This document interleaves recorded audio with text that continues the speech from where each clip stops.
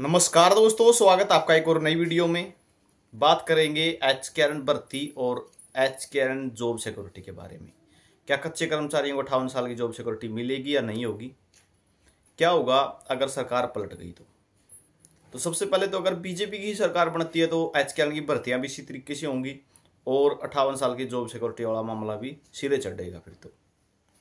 लेकिन जो रुझान दिखाई दे रहे हैं कि सरकार कांग्रेस की बनेगी तो कांग्रेस की अगर सरकार बनती है तो एच कैरन भर्तियाँ तो भाई बिल्कुल एक परसेंट भी उम्मीद नहीं है कि एच कैरन की और भर्तियाँ होंगी।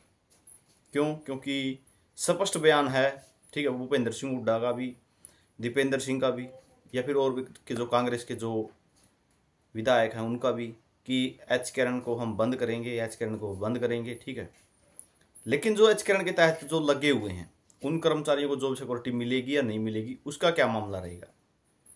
तो जो प्रोसेस बीजेपी सरकार ने शुरू किया है, ये तो सिरे नहीं चढ़ेगा। ठीक है? उड्डा साहब भी इसके बारे में स्पष्ट कर चुके हैं कि हम एक नई जो है पॉलिसी लेकर आएँगे। ठीक है? जिसमें जो कर्मचारी पक्के होने हैं या फिर कह सकते हैं, जिन कर्मचारियों का डाटा यानी पुराने लंबे समय से लगे हुए हैं, उनको तो हम एडजस्ट कर देंगे। ठीक है? उनके लिए हम नियमित कर देंगे, उनको पक्के कर देंगे। उन्होंने ये स्पष्ट बोला हुआ है। ठीक है? लेकिन वही बात है, इतने कर्मचारियों को एकदम से पक्के करेंगे, ऐसा भी पॉसिबल नहीं है। ठीक है? तो नई पॉलिसी क्या कुछ लेकर आएँगे, ये विचारणीय रहेगा।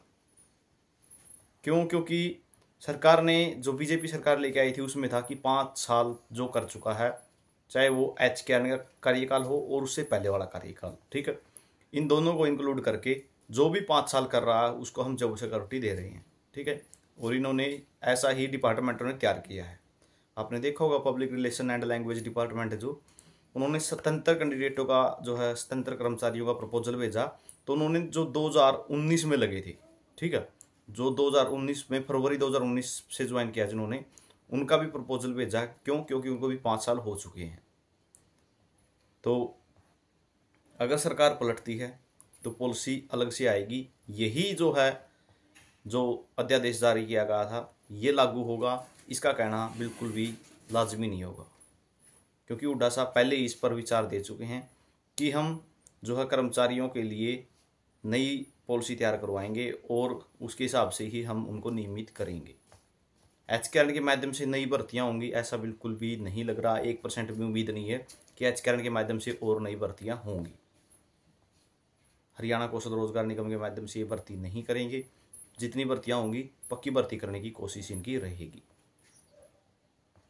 तो अट्ठावन साल की सिक्योरिटी का क्या रहेगा? इस बारे में बार बार कमेंट आ रहे हैं कैंडिडेट की। तो मैं आपको जानकारी दे देता हूँ। तो भर्तियाँ तो एच कैरन की मुश्किल हैं और होनी। अगर कांग्रेस की सरकार बनती है तो।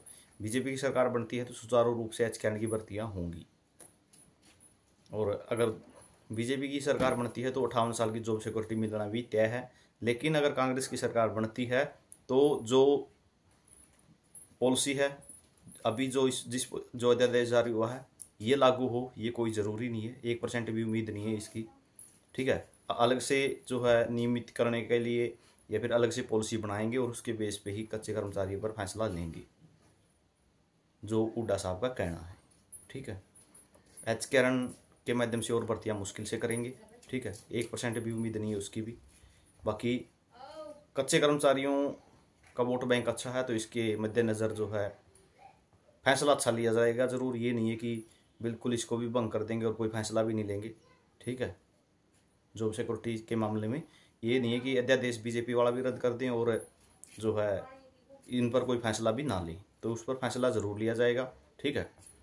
और जो, ये जॉब सिक्योरिटी वाला मामला है, ये आगे नहीं बढ़ेगा। ठीक है? ये इसको यहीं पे स्टॉप करेंगे और इसके लिए टाइम भी लिया जा सकता है। ठीक है?